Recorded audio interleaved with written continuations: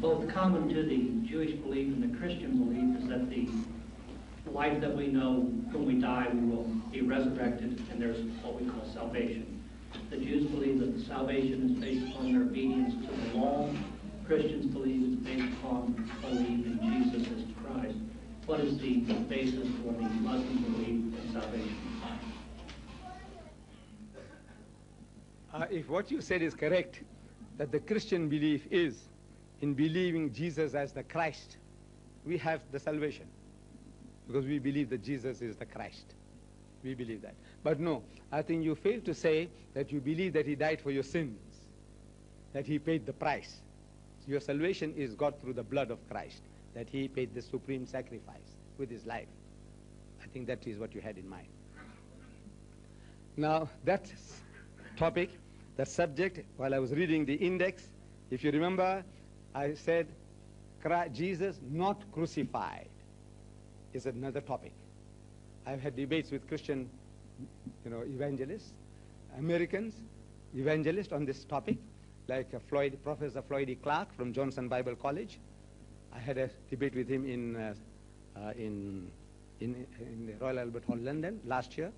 I had another Professor Simpkins, you know, also an American. He came to South Africa. We debated with him. Was Christ crucified as well as is Jesus God? However, the crucifixion. So we say Jesus Christ was not killed, nor was he crucified. This was a subject of debate last night with Dr. Robert Douglas of the Zwemer Institute. He's the director of the Zwemer Institute, a missionary organization in this country. I had a debate with him last night. And I think the tape as well as the videotapes are available. You can, you can avail yourself of those. How does the Muslim get salvation? You see, to Muslim there's only one way. And the way is for all eternity the same. There is no change. God is not the author of confusion. He wouldn't tell Moses something and he gives something contradictory to Jesus and again something to contradict him to Muhammad. If it is all coming from the same source, the message must be the same. His law is eternal and it is not changeable. He doesn't change his laws by the minutes. He fails one system, then he introduces another system. That is not my God. He doesn't fail with these systems. He gave to Moses and to the children of Israel a law. The law was that as you sow, so you will reap. In the book of Ezekiel, chapter 20, we are given that in a nutshell, which is truly Islamic. It says, the soul that sinneth, it shall die. And the Christian puts a full stop. All his literature, his evangelical literature, he stops there, puts a full stop where there's no full stop. He says, the soul that sinneth, it shall die. The son shall not bear the iniquity of the father. Father Adam, he sinned. We, his children, are not responsible for what he did. The son shall not bear the iniquity of the father, neither shall the father bear the iniquity of the son. His sons today, in Los Angeles, last June, this previous June, 300,000 sodomites, whom you call gays, they gathered in San Francisco on a pilgrimage led by 50 lesbians on motorcycles. Here in San Francisco in your country. God Almighty will not ask Adam say, hey, look at your children, this rubbish. What have you produced? No, God will not ask him. He is not responsible. He says, the righteousness of the righteous shall be upon him. Whatever good thing the good man does, he gets his reward.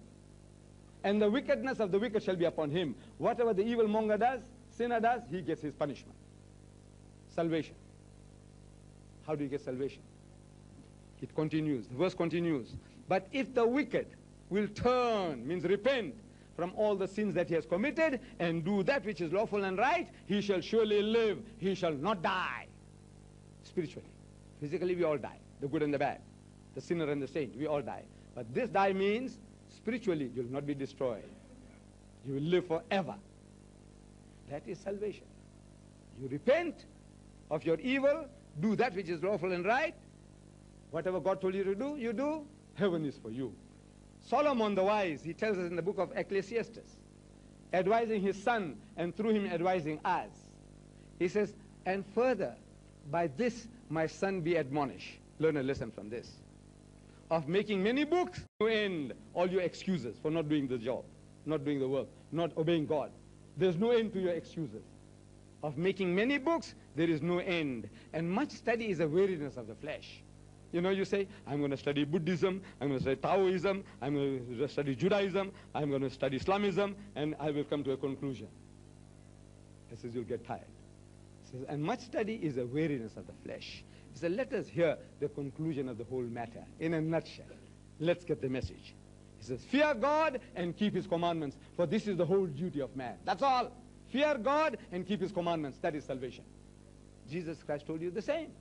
He says, Verily, verily I say unto you, most certainly I'm telling you this, except your righteousness exceed the righteousness of the scribes and the Pharisees, ye shall by no means enter the kingdom of heaven. There is no heaven for you unless you are better than the Jew. Except it exceed the righteousness of the scribes and the Pharisees, ye shall by no means enter the kingdom of heaven. He said again, think not that I am come to destroy the law of the prophets. I am come not to destroy but to fulfill. For verily I say unto you, most certainly I am telling you, heaven and earth shall pass away, but one jot or one tittle shall in no wise pass from the law. Tittle, jot, jot is the smallest letter of the Hebrew alphabet. Not even that amount is to go out of the law of God. One jot or one tittle shall in no wise pass from the law till all be fulfilled. Whosoever therefore shall break one of these least commandments, least commandments, or shall teach men so, shall be called the least in the kingdom of heaven. But whosoever shall teach and do, shall be called great in the kingdom of heaven. I say, we teach and we do.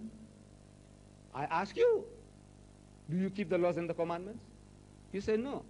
I say, why not? He says, the law is nailed to the cross. Why not? He said, we are living under grace. That's what the Christian says. You're living under grace. I say, where did you get this? This idea that the law is nailed to the cross is done away with. Where did you get it? So he quotes me. Philippians, Galatians, Corinthians, Thessalonians, Colossians. And so who's this? Who's this? Timothy, Romans. Who's all this? What's this? Who is that? It's a Paul, Paul, Paul, Paul. I said, who is your master? You say, Jesus. What does he say? You contradicting Jesus. And Jesus said, the disciple is not greater than the master. Master is Jesus. What he tells you, I say, I listen to my master, Jesus. He never had the pig. He, none of his disciples ever touched that pork. You call it pork, ham, bacon, whatever you call it. He never touched that stuff. None of his disciples ever touched it. And you are all pig eaters. Christians. Where did you get this? He said, Peter had a dream. On that dream, now you eat pigs. When my master never ate it, he wouldn't eat it. It was abhorrent to him. He killed 2,000 pigs. One hit, he destroyed them all. You know that? But now you don't listen to him. You are now living in the grace. I said, are you circumcised? He says, no. I said, why aren't you? It's a major commandment God gave. Your Lord was Christ, Jesus Christ, was circumcised. I said, what is good for your God should be good for you. No, you won't circumcise. Why won't you? This is the law of God he entered into between Abraham and his descendants forever. And you claim to be spiritual descendants. How does that absolve you? It is Jesus was circumcised and you are not.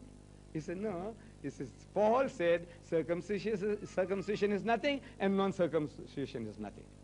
I said, Jesus says not even one jot or one tittle is to pass from the law. Can't you see? You are not following Jesus. You're following Paul, Paul, Paul. He is the real founder of Christianity. Paul, not Jesus. Therefore, your great countryman, Michael H. Hart, he wrote a book on the top 100, the greatest 100 in history, the most influential 100 people from Adam to current time. And he gives us a list, the 100, the top 100, or the greatest 100 in history. Michael H. Hart, New York, of the Hart Publishing Company. And in that list of the most influential men, after giving the list of 100 names, he puts them in the order of seniority. Number one, number five, number 50, number 99, who, who, who. And he puts Muhammad number one. The most influential man in history, according to Michael, Michael H. Hart, an American in America, publishing a book of 572 pages, retailing about 10 years ago for $15, which I paid for it. Maybe it cost 50 today, I don't know. He says, Muhammad is the most influential man in history. And his Lord and Savior, Jesus Christ, number three. His God and Savior, number three. And he gives reasons. Not because some Arab bribed him. So here's 10,000 for you. Say a good word about Muhammad. Put him number one. We give you 100,000. Put him number one in your book. No. No Arabs could ever think of that. It's possible but not probable for an Arab to do that. Why does he put Jesus Christ as God and Savior number three? He said, you see, the honor for Christianity is to be shared between Paul and Jesus. Actually, Paul is the real founder of Christianity. This is it. A follow Jesus, listen to him, you can't help being a Muslim. You'll be a Muslim through and through. But you don't want to listen to Jesus. Read the books. Listen to the sermons. It's Paul, Paul, Paul, Paul, not Jesus. What did Jesus say? He says, He is not of me who does not take his cross and follow me. Take up your cross and follow me. But the cowards that we are, we are not prepared to pick up the cross.